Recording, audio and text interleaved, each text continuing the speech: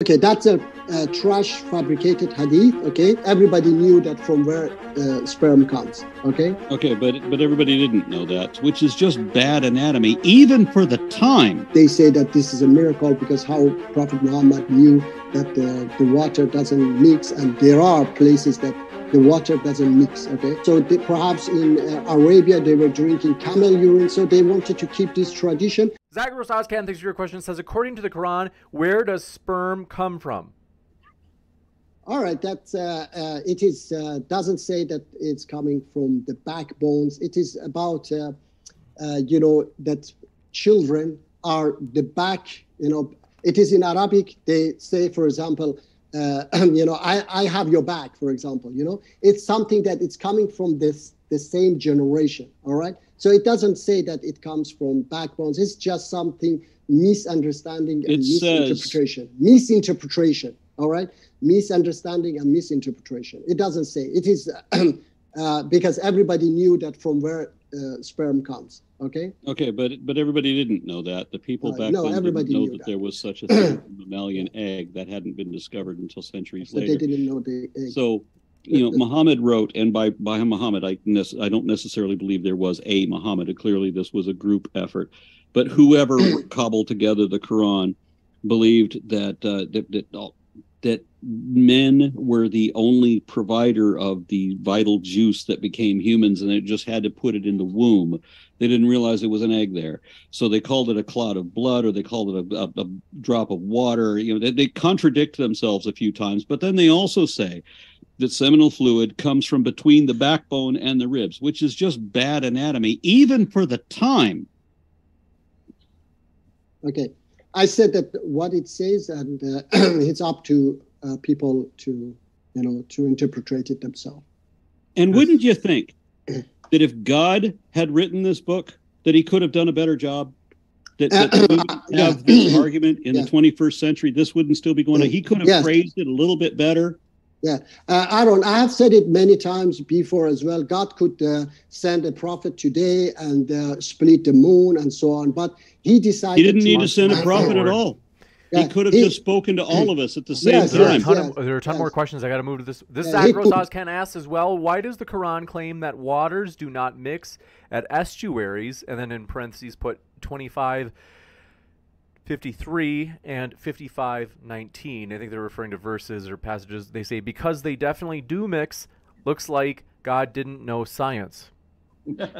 All right. Um, this uh, I haven't been uh, actually uh, pondering about such a things because for me, the most important is that how uh, Quran and Islam uh, guide me and guide humanity to live um, today and uh, to guide us to a better world. Okay, so these are, um, and some people uh, take it as uh, they take uh, videos from seas that they are not mixed two two different, uh, you know, color of water that they don't mix. So this is, uh, they say that this is a miracle because how Prophet Muhammad knew that the, the water doesn't mix, and there are places that the water doesn't mix. Okay, so for me, that's another big issue that I have to, you know, reject those beautiful messages, verses of Quran that says love one another and uh, forgive people and uh, how to live. To reject all those verses just because maybe this, uh,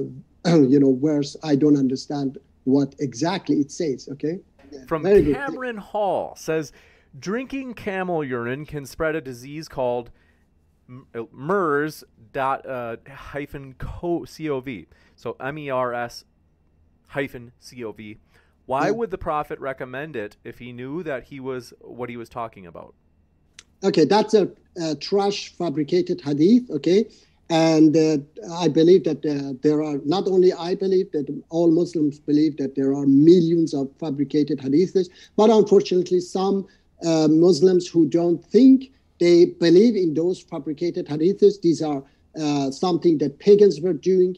Uh, unfortunately, in India, they drink, uh, you know, cow urine. So they, perhaps in uh, Arabia, they were drinking camel urine. So they wanted to keep this tradition. So they put these, uh, you know, fabricated hadith that say that Prophet Muhammad said, and that's uh, not the entire hadith. The, the hadith continues to show that Prophet Muhammad was a brutal, barbaric man, okay? Because he killed eight people in such a barbaric act for one person, despite Quran says so many verses against such an act. And that's absolutely goes against Quran and any hadith. So I'm not a Quranic because people usually accuse me for being Quranic.